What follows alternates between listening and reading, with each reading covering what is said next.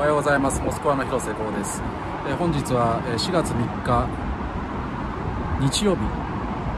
えー、午後3時ぐらいです。モスクワからお届けしています、えー、モスクワそうですね、えー、3月の頭から頭にまあちょっとその制裁の影響なんかでまあいろいろ動きありましたし、えー、ちょっとね、えー、不安定なこともありましたけども現在は正直言って、えーえー、全体的にこう少し安定しているという感じですかね、えー、物価も、え、それほど上がってないですし、え、ルーブルの価値もですね、え、少し戻してきてますし、えまあ、銀行に人が並んでるってこともない。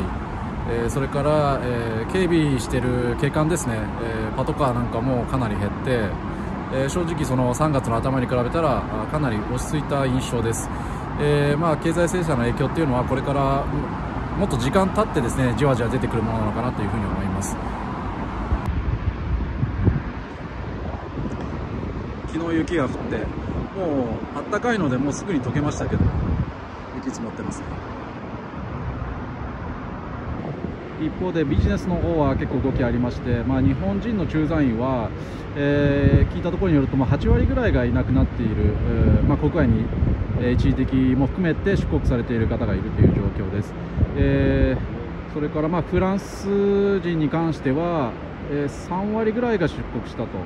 いうふうに、まあ、フランス商工会議所の人からは聞いてます。えー、まあ、フランスに関してはその制裁への参加っていうのがにかなりこう、えー、消極的というか、まあ、ビジネスをかなりロシアでやってますので大手のスーパーのチェーンですとか、えー、かなりやってますので、え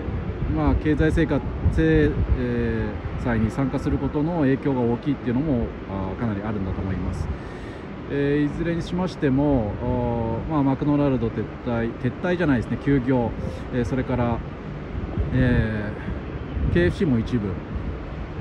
ユニクロの休業、えー、その他まあ多数の企業が、えー、休業をしていまして、えー、物の調達が、え、難しくなったり、えー、物が届かなかったりそれこそ、えー、書類のやり取りですね。うんまあ、例えば今まで DHL とか FedEx とかで送っていた契約書などが、えー、送れなくなってで現在は、e まあ、EMS はコロナの時から止まってたんですけども、えー、ところによると船便も使えないと現在はその物流が混乱していて船便も届かないという状況みたいで、えー、私はちょっとその、えー、まあ、コーポレートの仕事から今ちょっと離れているのでそこまで状況詳しくないんですけども、えー、かなり不便が出ているという状況です。あとネットですね。ネットは、まあ、あの普通に使えてます、えー、もう特定のサイトで、えー、見られないとかまとめサイトが見られないとか、えー、そういうのもそういったものはもちろんありますけれども、えーまあ、YouTube、えー、通常通り、えー、閲覧ができてます。えー、使ええー、使い方に、まあ、変化が生じたのは SNS ですね、えー、インスタグラムとツイッターと、えー、フェイスブックえー、と TikTok、えー、現在は、えーまあ、更新されないっていうのとアップロードはできないという状態になっています。TikTok はあの閲覧できるんですけども過去の動画が流れてきたり、えーまあ、あの許可されている内容コンテンツのみが流れてくるっていう、えー、形になっております、えー、BBN っていうサービスを使えばあの閲覧できるんですけれども、えー、通常ではあの使えなくなっていて、えー、ちょっと不便ですね。雪が積もるとすぐにこうやって、うん、ブルドーザーが来て雪をトラックに積んで片付けるんですよ。でトラックはまあ溶けた雪をびちゃびちゃ垂れ流しながら走るっていうモスクワの光景です。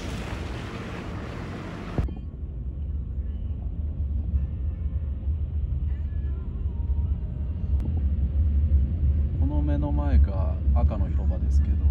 前に比べたら警備車両がかなり減ったような感じがしますね。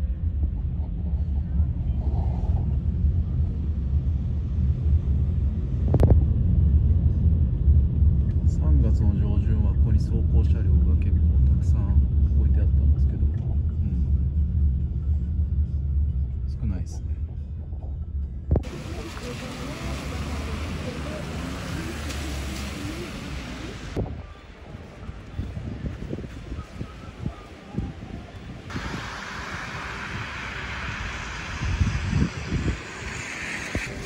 はいここ赤の広場から、まあ、歩いて10分ぐらいで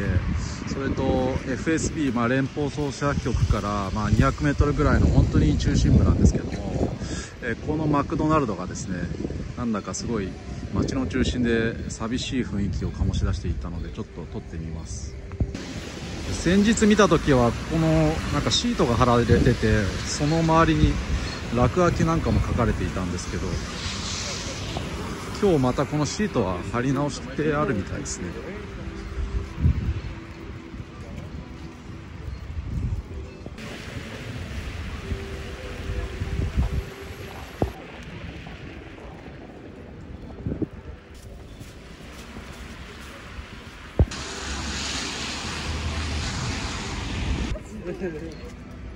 ちょっともう入り口のガラスなんかも汚い感じになってて。あ中はもう撤去されてますね。ああもうここは再開しないってことですね。セメントらしきものも積んであって。うん他の業態になるんでしょうか。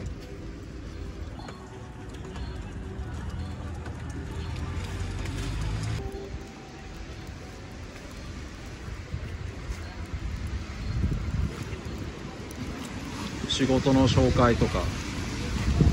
アパートを貸し出しますよみたいな電話番号とともに書いてあります。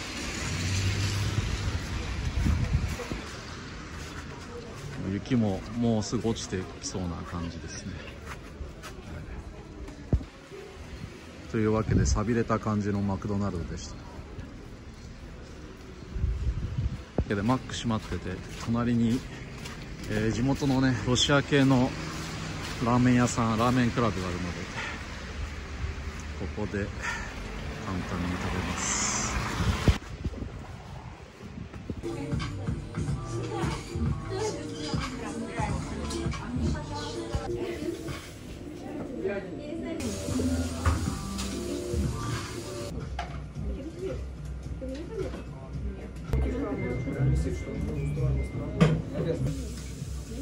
カレーラーメン。Привет. Как, как вам нравится японские да, кухни? Да, нравится? Очень вкусно. Ага. А, японская культура, что вы интересуете? Это к ним. Японская культура, а, знаешь? Японская что, культура интересует. что ты знаешь о японской культуре? Это очень специфичная культура, Ага. и у них свой особенный вкус и Ага. культура. Хорошо.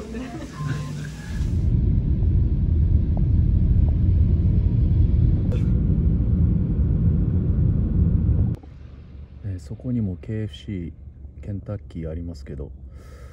えーなんか人が入ってないので、えー閉まってるっぽいですね。電気もついてないです。ちなみにロシアのタクシーですがアプリ一つで全て完結してます、えー行き先の設定車の等級の設定、えー支払いのカードの設定、えそれから車の追加、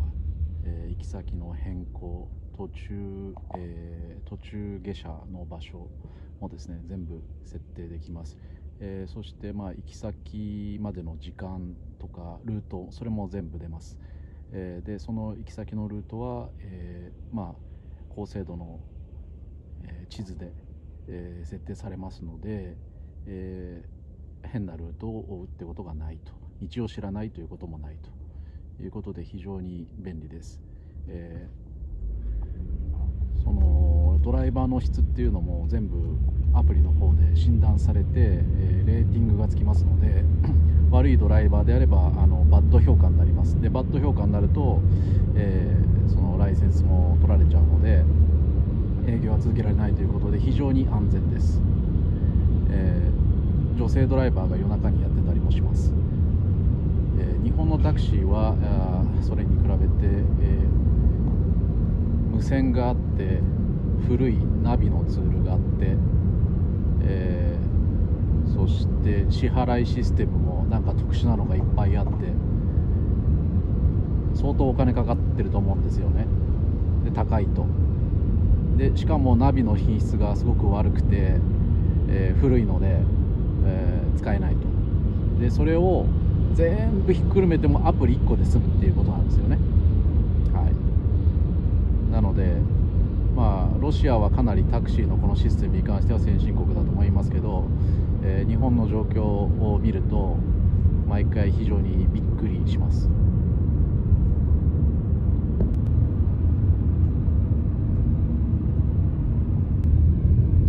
はい、今モスクワの市の中心から少し離れた、えーティクスティルスキーという場所にいるんですけどこれがルノーの工場ですね、えールノー日産アフトワーズグループということで、えーフランス日本ロシアの合弁の会社で、えー車を製造しています。しかしながらこのルノーの工場に関しては、えー最後まで、え閉じたくないと言ってたんですけれども部品の供給もできない。それからフランスの国内でのブランドの、え問題もあって、えついにこの操業というのを停止した。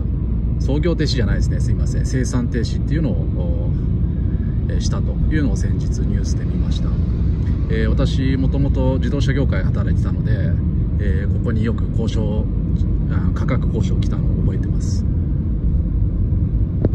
はいというわけでちょっとまとまりのない動画になっちゃいましたけど雪の日の月のモスクワということで、えーちょっとね周りを撮ってみました、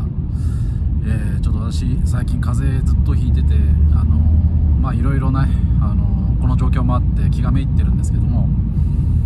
えーなんとかこの風邪を治して、えーちょっと新しい、えー活動っていうのをやっていきたいなと思います。というわけで、えーまた、えー動画を送ります。ありがとうございました。